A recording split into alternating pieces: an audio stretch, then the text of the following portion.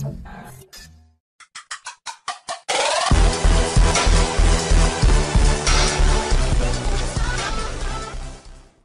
what's going on YouTube? My name is Nuke, or you can also call me by my real name, Nick. And today what you guys are going to be watching is episode 2 of Game Talk Season 1. And if you guys don't know what Game Talk is, it's a, not a weekly series on my channel, kind of a weekly series that you're going to be seeing on my channel anytime of the week, where I just sit down and talk about a game that's coming out brand new news about a game, something I think is important about a game, my thoughts on a game, because it just came out and stuff like that. But today's episode is GTA 5 Next Gen. The next gen release date has been announced, and I'm pretty excited about this, guys. It is November 18th, so that's two months after last year's release for the current gen consoles, which was September 18th, so it's two months after that and another year later.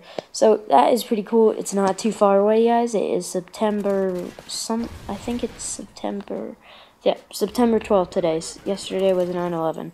So that's not too long too far away. And man, is November going to be packed with gameplays of COD Ghost in my new Funny Moments series. That's going to be so fun, guys. And I just can't wait for Advanced Warfare and GTA 5.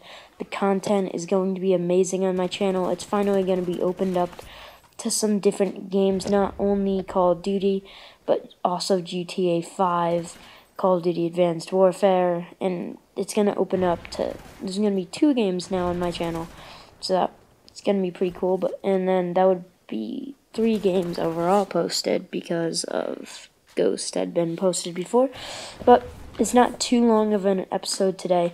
I just found this out and I had to do a video on it.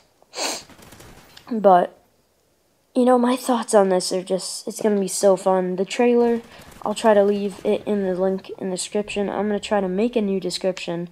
That's going to be, I'm actually going to change every video, I hope. But, hopefully you guys enjoy this video. Enjoyed. If you did, make sure to drop a like. That is always helpful to my channel, gets me out there, and make sure you drop a sub onto that subscribe button if you haven't already. On my road to 400 subscribers, it's been Nuke. See ya. Boom.